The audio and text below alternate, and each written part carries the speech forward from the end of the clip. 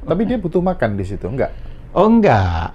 Ya Sudah tapi enggak ada ya? dia kan butuh apa itu didoakan dan Oh. sebagainya untuk energi, Energi masuk. ya. Iya. Heeh. Jadi di situ. Nah, di dalam Eka Krida ini ya kan orang tentunya eh, berusaha sesuai dengan kemampuan energinya itu berusaha naik, ya kan.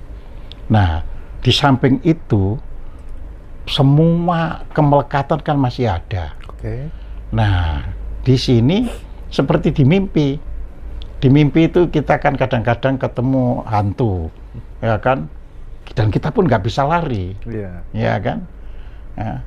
Nah, itu seperti itu. Jadi kita, waduh, ada ini tapi nggak bisa ke mana-mana. Iya. Nah, nah, terus kita akhirnya kalau tidak tergoda, tidak tergoda ya, itu bisa masuk.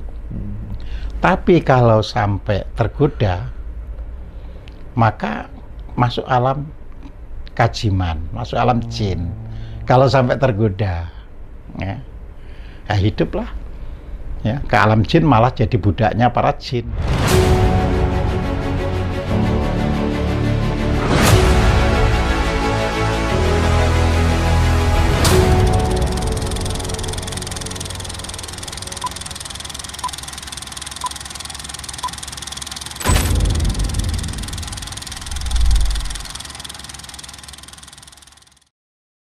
Pak Kojim, Iya. berarti berarti parameter perilaku itu sebenarnya batin.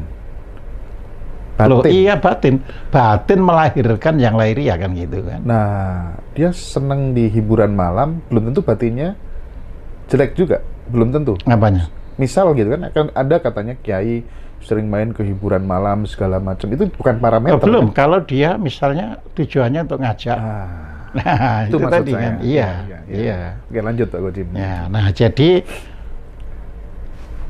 kalau orang itu baik, ya kan, dengan mudah. Tentu baik ini kan tadi ener- kok energinya berapa kita nggak tahu. Iya, Pokoknya iya, iya. yang baik itu akhirnya bisa naik dari keluar dari alam lokantara. Oke. Ya. Nah, alam lokantara ini ya sebenarnya gelap, makanya orang disebut ada di Oh iya. iya. alam gelap Alam kan gitu kegelapan. kan. kegelapan gitu kan nah masuklah ke alam yang namanya Eka Krida Eka Krida. Eka Krida ya Nah. Sudah nggak gelap lagi. apanya Sudah nggak gelap lagi alamnya.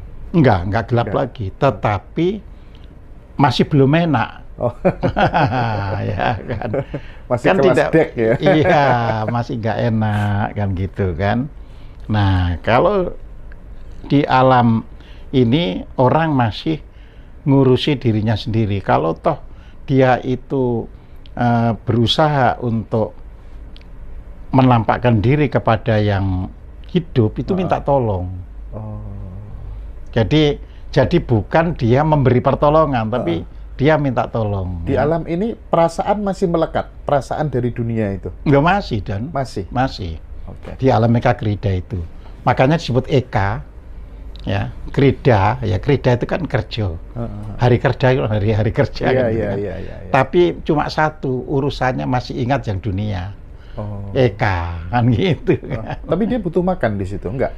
Oh enggak, ya Sudah tapi ada ya? dia kan butuh apa itu didoakan dan Oh. sebagainya untuk energi, Energi masuk. ya. Iya. Heeh. Jadi di situ. Nah, di dalam Eka Krida ini ya kan orang tentunya eh, berusaha sesuai dengan kemampuan energinya itu berusaha naik, ya kan. Nah, di samping itu semua kemelekatan kan masih ada. Oke. Nah, di sini seperti di mimpi. Di mimpi itu kita kan kadang-kadang ketemu hantu, ya kan? Dan kita pun nggak bisa lari, Iya. ya kan? Ya.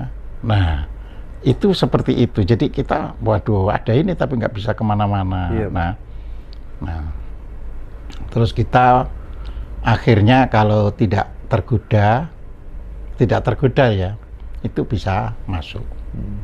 Tapi kalau sampai tergoda, maka masuk alam kajiman, masuk alam jin. Kalau sampai tergoda, ya, ya hiduplah. Ya ke alam jin malah jadi budaknya para jin Nah, biar nggak tergoda. Loh itu tadi. Jadi orang dididik ya, makanya orang Jawa dulu selalu juga didik orang Buddha itu kan ada membacakan itu.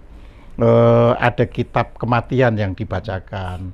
Ya, jadi ketika makanya tuh nanti dari dalam agama Islam itu lahir talqin. Talqin. Nah, tujuannya itu ya, Pak Gojin. ya? Tujuannya itu sebenarnya mengingatkan yang hidup. Oh. Jadi jangan di apa kematian itu di eh, ditakuti. Jadi selama itu tidak takut, ya makanya orang meditasi dan sebagainya itu kan untuk membangun ketenangan. Mm-mm. Lah, ketika meninggal pun kalau tidak takut ya apa pun yang goda kan nggak nggak terpengaruh.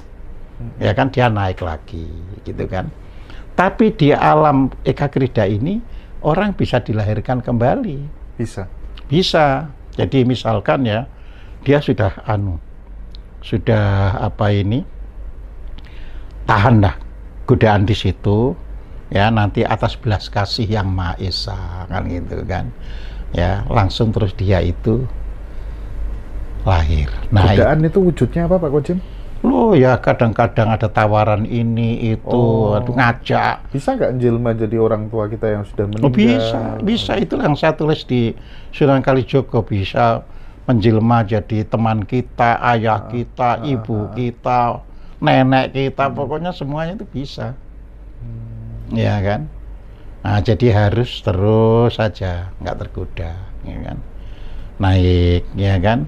Nah, akan tetapi dia kan naik itu kan berat. Makanya ada orang ya, mbok akhirnya dapat belas kasih Tuhan, akhirnya dia lahir. Hmm. Cuma lahir dari alam Ekarakida itu, ya kan, tidak lebih dari yang kemarinnya hidup kemarinnya itu. Hmm. Kelasnya hampir sama mungkin. ya? Bukan hampir sama, bahkan bisa lebih buruk. Oh lebih buruk. Bisa lebih buruk karena begitu lahir apa ini ada kondisi sosial yang berbeda. Oh, iya iya iya iya. Ada di situ, ya. Ah. Kan kondisi sosialnya kan mungkin sudah berubah. Oke, oke, ya kan, gitu. Ah. Misalnya meninggalnya sebelum reformasi, eh, terus lahirnya setelah reformasi kan berubah. Iya. Setelah Eka Krida apa Pak Goji? Nah, Dwi Karana, Dwi Karana. Dwi Karana. Nah, jadi Dwi itu dua kan. Jadi levelnya memang level 2 Oke. ya. Tetapi dia sudah bisa ya istilahnya berhubungan dengan eh, dunia bawahnya dan bisa ngurus dirinya sendiri. Mm-mm. Ya di situ misalnya jadi bisa bolak-balik, dia bisa memberi pertolongan yang bawah, dia juga bisa aku ya tolong dong doakan bisa. Kan, Makanya disebut dua sebab. Karena itu kan sebab. Sebab. dua iya. sebab.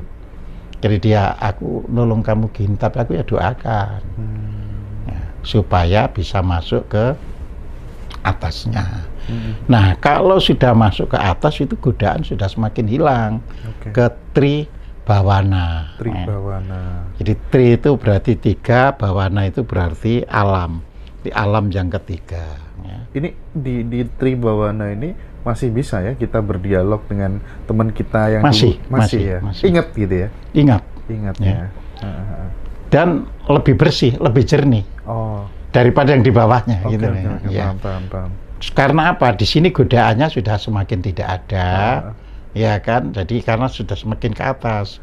Jadi unsur-unsur kemelekatan pun sudah mulai banyak yang luruh gitu loh ya. Oh, ini waktu kan sebenarnya ya, soal Iya, waktu soal kan? waktu. Nah, terus nanti naik ke namanya catur mahendra. Oke. Ya. Catur Mahendra. Ya, jadi dari Tribawana ke Catur Mahendra. Ya, namanya Catur Mahendra, ya. Ia lebih enak lagi. Terus di situlah ada penuntun Oh. di alam sana itu. Jadi orang yang disediakan ya untuk nonton dirinya. ada ada guide tour guide. Ya, ada guide, ya. Jadi nanti nggak kesepian karena ada Iya, iya. guide-nya, Heeh. gitu kan. Nah, tetap kan sesuai dengan apa itu berapa besar ya pranawanya yang ada itu, Hmm. ya. Poinnya itu ya. Lah iya kan poinnya itu kan. Jadi kalau misalnya nggak kuat ya dia bisa ke pihak ini ya aku tolong diberikan jalan untuk bisa lahir lagi. Oh. Nah, tentu lahir lagi pada Catur Mahendra lebih baik daripada yang lahir dari di bawahnya kan gitu. Sekali lagi tujuannya adalah kelahiran kembali sebenarnya ya, ya. Pak untuk ya? memperbaiki diri. memperbaiki diri ya. Dan itu nggak ada habisnya, Nggak ada habisnya. nggak ada habisnya. Karena manusia itu dilahirkan memang untuk menyempurnakan dirinya. Oh. Bukan hanya berbuat segini terus nanti leha-leha anu itu tidak sesuai dengan hukum alam. setelah Catur Mahendra apa Pak? Nah, setelah Catur Mahendra masuk ke Pancamartani. Apa itu? Ya, jadi kelima ini Pancamartani ya tetap pengiring yang sama itu tetap membimbing. Ikut ya. Ya, ini ya. alamnya lebih baik. Heeh. Ya, kamu jangan lagi tergoda gini sudah dibimbing. Jadi bukan dilepas kayak di satu Iya, dan iya. dua Iya, gitu. heeh. Jadi, nah cuma tinggal kuat tidak ke atas atau sudah minta lahir. Oh, Kan ini udah gitu. bebas ya, sudah Eh, sudah, sudah, punya bebas. hak untuk ya. lahir kembali. Sudah, gitu ya. sudah, sudah. Jadi nggak nggak belas kasih lagi. Oke, Kalau oke. tadi pada Eka Krida dan Ah, ah, Karana ah, kan minta belas kasih. Iya, iya. Kalau mulai Tri Bawana itu tidak, itu dia. Ah, Apa itu minta apa lahir lagi, ya. Dan tentunya lebih terarah, lebih baik. Pokoknya semakin tinggi, semakin pilihan. Setelah Pancamartani masih ada lagi. Masih Oh, Sampai Ya. berapa itu kalau di Kan tujuh. literatur Jawa? Tujuh ya? tujuh. Oh kayak di Serat Wirididaya Jati. Gitu. Ah, kayak di Serawira Jati, tapi Iya. itu tasawuf. Ah, ah, ah. Serat Wiridida Jati itu Iya, iya. yang Nuriyah ini, ini itu. Iya, iya, iya, iya. Ya. Nah, Oke. jadi di situ masuk ke Windu Jati Windu Jati itu ke enam ya? ke enam, Keenam. ya kan? Lebih baik lagi, Hmm, ya kan? Jadi dunia pun warna-warninya lebih indah, Oke, oke. ya. Nah, terus naik ke Sabta Pratala. Sabta, Sabto Pratolo. Iya, Oh, iya, Sabto iya. Pratolo. Nah, Sabto Pratolo itulah yang sering di pewayangan, di anu itu sering digambarkan, ya kan. Sabto Pratolo itu tidak berarti eh, apa yang di bawah, ini yang dimensinya ke atas. Dimensi bawah ya ada. Oh, yang Sabto Pratolo, yang bawah juga ada. Ini yang Ada, atas yang kita yang bahas ya. atas, iya. Bukan berarti yang di Sabto Pratolo itu di situ ketemu wujudnya Allah secara hakiki Oh, enggak, enggak, ya? enggak, kan Enggak sudah ya? dikatakan. Iya. di Al-Quran pada surat 24 ayat 25 dikatakan bahwa pada hari itu, nah, Heeh, jadi heeh. sudah dikatakan pada hari itu, ya, ia mengetahui bahwa Allah adalah kebenaran yang nyata. Kebenaran yang nyata. Nah, jadi jadi Allah itu kebenaran yang nyata. Berarti nanti kalau orang-orang itu sudah aware semua terkait dengan yang disampaikan Pak Iya. Kocim, udah nggak ada pertentangan soal Tuhan, Lah iya, Tuhan nggak ada ya gitu. Pak Kocim ya. Ya, Tuhan tuh kita laki-laki, Tuhan tuh Lihat apa? surat 24 ayat Ah. anu ya. Surat 24 ayat 25.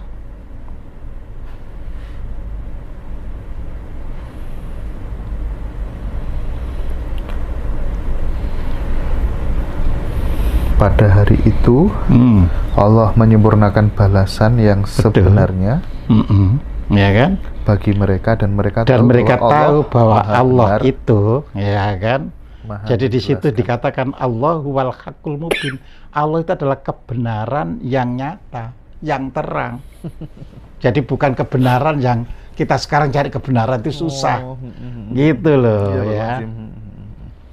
Jadi bukan seperti terjemahan ini Allah maha benar, bukan kalau maha benar itu sejak sekarang ya maha benar gitu loh. Tapi al-haq itu suatu wujud gitu loh. Jadi kebenaran yang mubin, mubin itu terang. Jadi kebenarannya tidak lagi uh, silo Iya, ya, iya, iya, jadi iya. yang terang ya. Nah, jadi ngaji itu begini Iya, gitu. iya, loh. Sip, sip, sip, Oh ternyata Gusti Allah itu kebenaran yang nyata. Lah orang mencari Gusti Allahnya mestinya yang dicarikan kebenaran.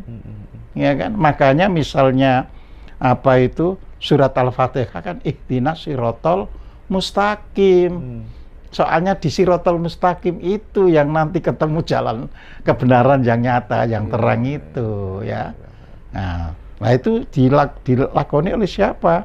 siratal ladzina an'amta alaihim. Jadi sudah nggak ketemu lagi orang marah-marah karena ghairil maghdubi alaihim waladdallin. Nggak ketemu lagi Iya. orang yang sesat dan bilang-bilang sesat. Iya. Nah, Pak Kojim, iya. sebelum saya lanjutkan Pak Kojim, Mm-mm. ketika Pak Kojim nulis buku segitu banyaknya Hmm. itu, itu eh, dapat apa Pak Kojim namanya? Kan ada orang eh, yang dicari itu adalah jati diri, diri Hmm. sejati, guru sejati, ya manifestasinya Allah yang Hmm. berada dalam Mm-mm. diri kita. Katanya kan begitu. Mm-mm. Nah, Pak Kojim juga mendapatkan bimbingan yang sama dari guru sejatinya apa enggak kira-kira itu? Loh iya, dapat kan, tulisan tapi itu. kan gini kan, dari awal itu kan manusia itu tinggal memahami konsep dirinya, Heeh. ya kan. Jadi kalau dari awal punya pengalaman dari kecil, loh, saya kok anu ya, tahu-tahu jalan ke jalan yang bener, golek mencari sesuatu kok terus langsung ketemu. Nah, jadi saya tidak mempersoalkan lagi siapa diri sejati saya Oh, ya. Jadi saya ini begini suatu hari Mas contoh ya. Ini contoh konkret tentunya nggih, kan. nggih, nggih.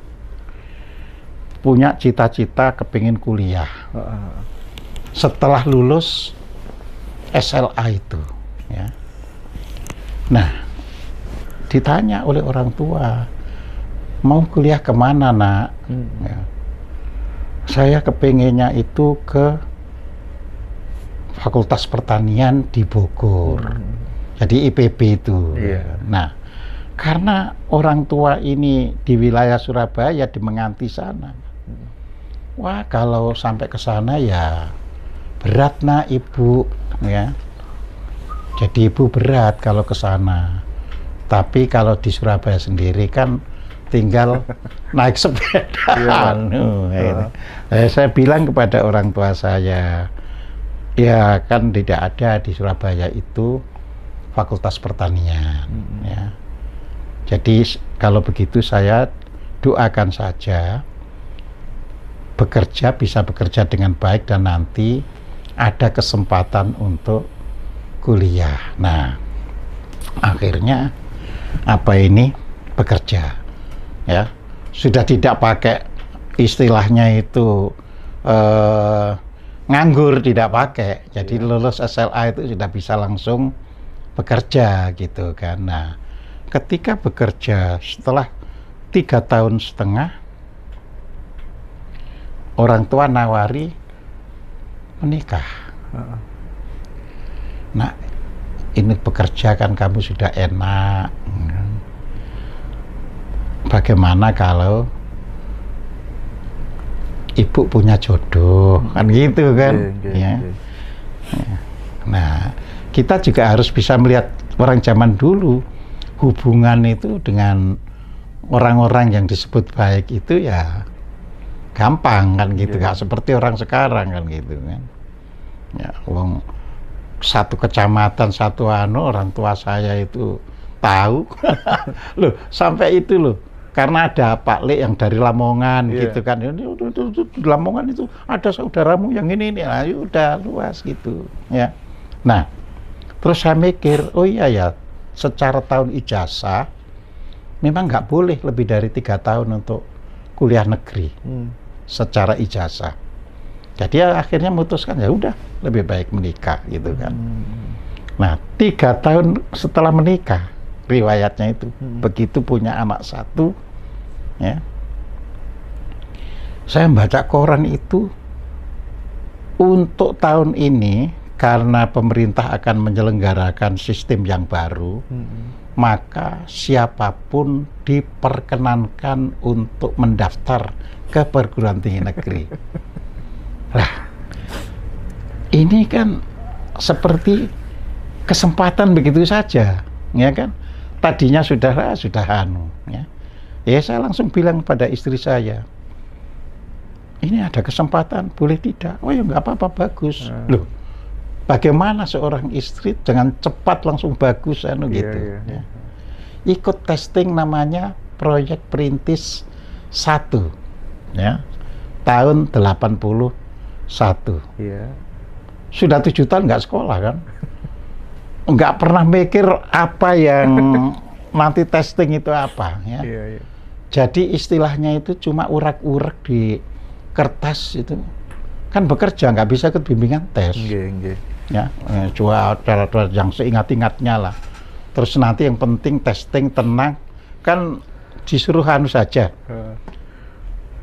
Melingkari ABC-nya Iya, itu iya, ya. Jim. ya ya Bismillah gitu aja. Sudah langsung saya pilih IPB ya. Udah pokoknya saya kerjain sebisa-bisanya ya. pas pengumuman saya lihat lulus. Nah, dan sebelum lulus itu sudah langsung kan habis habis apa itu eh, tes itu ada suara. Ya, nah kamu sih gampang masalah lulus itu. Eh diterima itu. Tapi nanti kamu di tingkat akhir akan dijegal tidak mudah kamu diluluskan Suara apa itu? Suara dari mana? Oh, dari ya pas iya Oke, oke. ya. jadi kita nggak tahu dirinya kan gitu Manggilnya nak gitu. ya nak Oh. Cowok apa cewek, laki-laki Laki-laki. iya jadi dikatakan kamu pasti diterima dan nanti setelah tingkat akhir kamu dipersulit untuk Dijegal. lulus Untuk skripsinya mungkin ya. Iya, nah, lulus betul kan? Lalu udah kan saya masuk ke IPB. Dan saya berusaha supaya tidak, ya dalam mimpi itu masih anu kan, eh, terngiang-ngiang kan, Heeh. yang ada suara. anu Itu mimpi, Pak Jim? Mimpi, tapi Mimpi. mimpi, tapi nggak tahu Kayak nyata rupanya gitu. iya, kayak Heeh. nyata aja kan gitu. Oke, oke, Ya. oke. Terus akhirnya saya bisa dengan mudah pas tiga tahun di IPB itu bisa nulis skripsi. Mm-mm. ya. Nah, baru di- begitu dijegal teringat itu jadinya. Hmm. Gini kan, dosen itu. Apa kamu sudah merasa usianya tua sehingga ingin cepat-cepat lulus? Waduh, mikir tadi. Tapi saya kan jujur, iya karena saya kan memang sudah jaraknya saja sudah tujuh tahun dengan Iya. teman-teman dan Hmm. saya sudah punya istri, punya anak ya saya melakukan anu gitu. Tapi dosen nggak bisa terima. Justru kami ingin kamu jadi teladan. Loh, jadi karepku sama karep Beda. beda. Karepku ya yang penting lulus kan Iyalah. gitu kan. Iya lah, Pak Jim. Tapi karepnya dosen itu harus jadi teladan. Heeh. Nah, jadi nggak boleh ngerjakan skripsi cepet-cepet. Terus akhirnya gimana Pak Jim? ya udah kan akhirnya nggak diterima skripsi saya yang sudah saya tulis itu. Oh.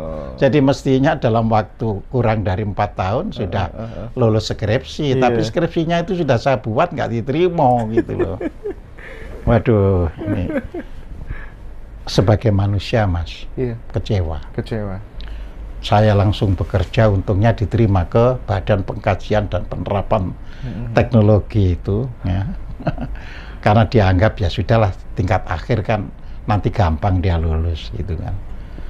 Nggak terasa, kena nggak pernah mikirkan anu kan.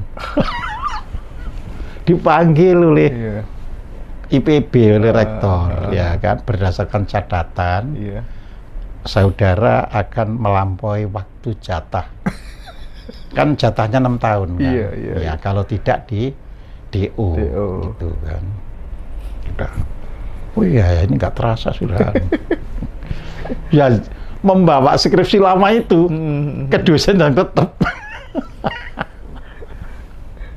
Jadi, kamu porik ya? Iya pak, terus terang aja. Heeh. Ya, saya sampai dimarahi sama rektor. Dua hari lagi ujian, tapi jangan berharap punya nilai baik, yang penting lulus. Tak kira guyonan, tak kira guyonan itu dinilai apa itu eh, C gitu loh, tak kira guyonan kan C itu lulus, heeh. ya. Saya gak mikir kan kalau dia nggak akan memberi A atau B itu kan gitu. Jadi tak kira guyonan. Betul dua hari kemudian saya ujian langsung dinyatakan lulus Heeh. dan nilaimu C. ya. Jadi jadi guyonan juga sama teman-teman itu. Ah, lama tiba oleh celurit jadi. Iya nggak apa-apa lah. Saya agak mikiri ya. Tapi saya alhamdulillah dapat kesempatan ke luar negeri yang pertama dari teman-teman malahan. oke, Iya, oke, oke, iya. oke, Jadi oke, itu itu tadi kan semua seperti ada bisikan, ada anu. sehingga saya, oh itu bagian dari Iya. sana yang ada di diri saya gitu saja. Dan tiap orang beda-beda ya case-nya Iya, setiap ya, orang beda-beda. ya. Nah, tapi saya tidak terjebak mencari itu siapanya gitu loh. Heeh.